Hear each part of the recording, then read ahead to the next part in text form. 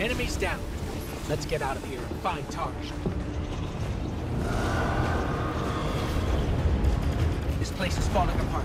We gotta move.